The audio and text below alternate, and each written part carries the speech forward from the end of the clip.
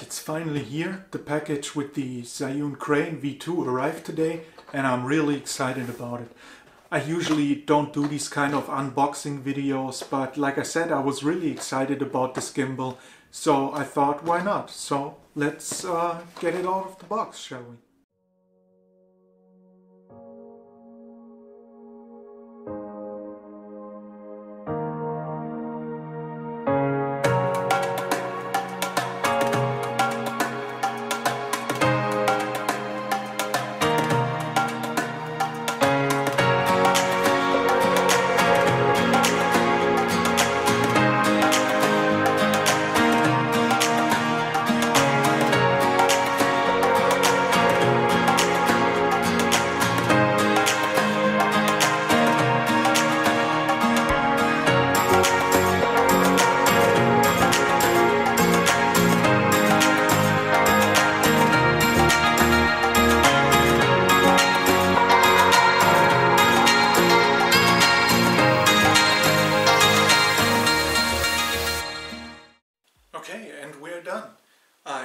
Balanced it also already.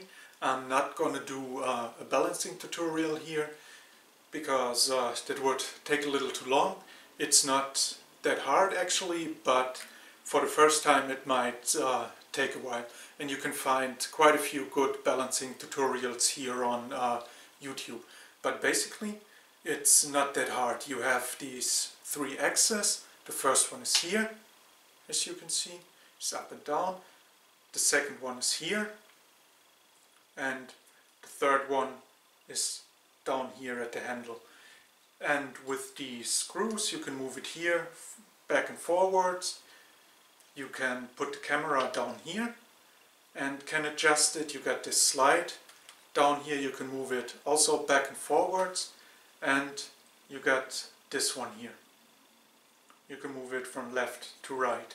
And when you're done, you should uh, be able to put the camera in every angle and it stays that way. You can put it to the other side, you can put it down and it always should stay. It doesn't really do it now, I still have to adjust some of these parts here. I think I'm going to do that now and in the meantime we're going to take a look at the buttons we have here at uh, the handle. Okay, this button is for um, for external control of the camera. You can actually attach a cable to it and then you can turn it on and off here, the camera. You don't even have to touch it anymore. Here is the power button. If you press it long, then this uh, light will blink and the gimbal will engage. Here you can change the mods. I will uh, tell you in a few seconds what kind of mods there are for this gimbal. And here's a joystick. You can move it up, you can move it down, you can move it to the left and to the right. And depending on how much pressure you put on this joystick, um, the movement of the gimbal of the camera is either slower or faster. Okay, I'd say uh, we turn it on and I'll talk a little bit about the three different mods this gimbal has. As you can see I managed to um, balance the gimbal correctly now so if I put this camera in a position like that it will stay that way. If I put it in a position like that it will stay that way. So that's perfectly balanced and uh, now let's turn it on. So now the gimbal is engaged. As soon as you turn the gimbal on it will uh, go into the follow mode. That means the camera will follow your movements. As you can see, when I turn the gimbal, the camera follows. If I push that button one more time, it will go into the lock mode. That means the camera stays locked. You can turn the handle and it will stay in that one position. Okay, and there's a third mod, that's the selfie mod. If you push the mode button three times, it'll turn around into the selfie mode. That's really cool and I think uh, it's very helpful for vlogging. As you can see, you could just hold the camera and everything, it's perfect. And if you want to continue filming, you push the button again three times and it turns around. What I also would like to add, before balancing uh, the gimbal and the camera, you should add a microphone if you want to use a microphone. and if you work with the flip out screen you should put it out or flip it out before you start balancing it. Every little bit, even the lens cover can throw it off balance. Okay, I'd say uh, we go outside now and check yeah, check how it is to film with that thing and make maybe a little comparison to how it was before filming handheld or with the GorillaPod.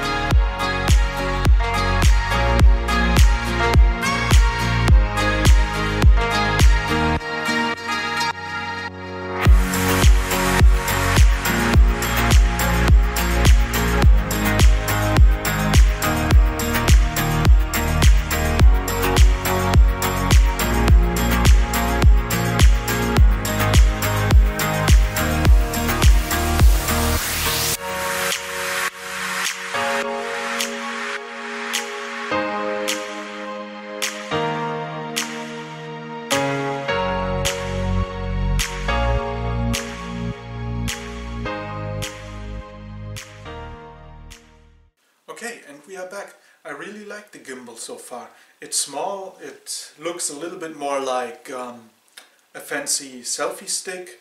It's not too big, it fits easily in every uh, backpack and I think you could clearly see the difference between the gimbal footage and the footage uh, handheld or with the GorillaPod. So if you are vlogging like me, I think a gimbal like that is really a good addition to, uh, to the vlog. You um, you can add much more variety to your b-roll footage. Before I always felt a little bit limited. I couldn't really make footage while walking or something because it was always a little shaky. And yeah, I think the gimbal will change that and I'm already excited to, uh, to give it a try.